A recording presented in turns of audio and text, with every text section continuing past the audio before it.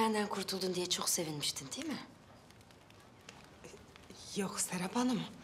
Ee, Bilakis siz gittiniz diye ne kadar üzüldüm bir bilseniz.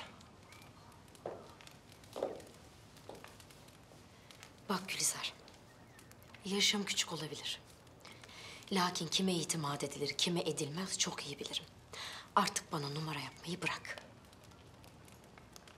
Bugüne kadar arkamdan az iş çevirmediniz.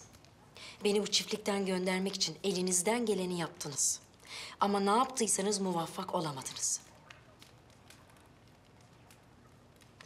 Eğer bu çiftlikte kalmak istiyorsan benimle iyi geçinmeye bak. Kimseyle birlik olup arkamdan iş çevirmeye kalkma anladın mı? Anladım Serap Hanım. Beni hanımın bellediysen beni buna inandır. Söylediklerimi eksiksiz harfiyle yerine getir. Kimsenin gözünün yaşına bakmayacağım artık. Eski güllü yok artık.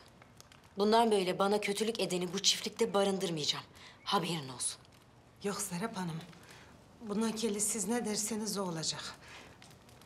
Sözünüzden dışarı çıkmam tövbe.